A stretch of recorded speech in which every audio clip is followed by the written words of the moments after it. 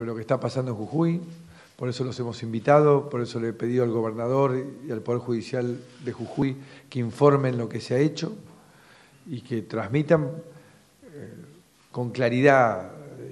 y, sin ningún tipo de, de, segundas intenciones qué es lo que ha sucedido en Jujuy. Porque, bueno, hacia adentro, en la Argentina, a la mayoría de los argentinos nos ha parecido que había una cantidad de delitos importantes que se había cometido por parte de Milagro Sala